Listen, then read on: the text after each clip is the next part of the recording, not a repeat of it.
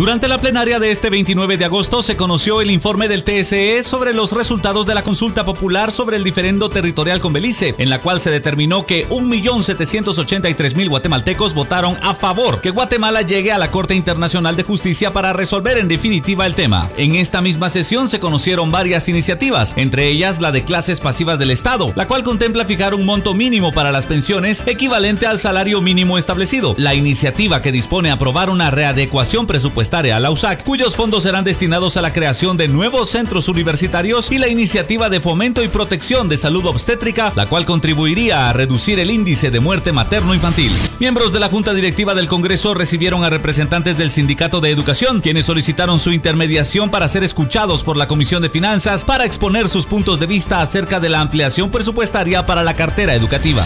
El Congreso de la República está trabajando para usted.